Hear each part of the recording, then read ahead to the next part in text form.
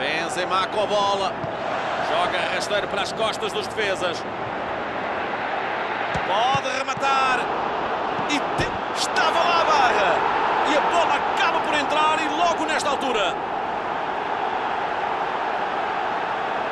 Um gol na própria baliza abala sempre muito a confiança do equipe.